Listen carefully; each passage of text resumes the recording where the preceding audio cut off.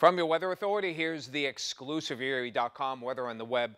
On the inland side, we're looking at partly to mostly cloudy skies, maybe a few showers and highs in the lower to mid 50s. For tonight, some showers around late tonight, lows dropping into the mid 40s. And from your Weather Authority, a few early showers tomorrow, and we're going to keep it mild into the weekend.